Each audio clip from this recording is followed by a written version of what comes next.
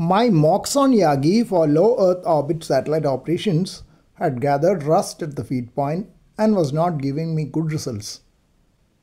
Few weeks back, I brought it down and serviced it so that the functioning became better. Still, due to multiple logistic reasons, I have not been able to return to FM satellites.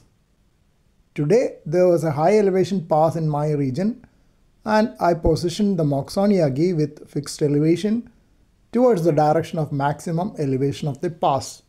Used Argentinian AMSAT satellite pass prediction page for Doppler tracking. LU4CJP, son of LU7ABF, had renewed the domain recently and the page was functioning well. Use the Doppler shift shown on the web page to manually tune my IC2730A to the required frequency in steps of 5 kHz, which was the minimum in my radio.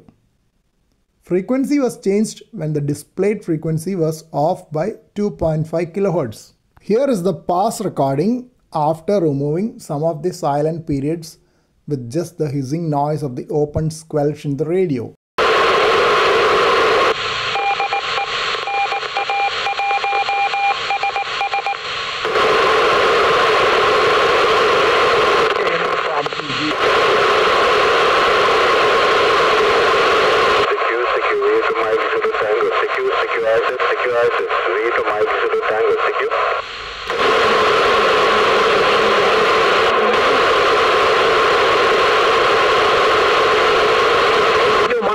Tango you to JO519.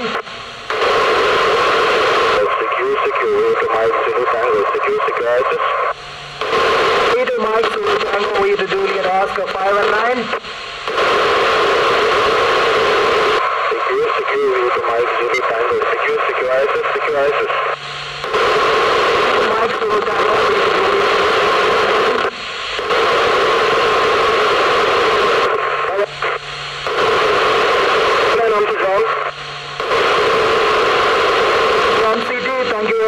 Fahrenheit 76.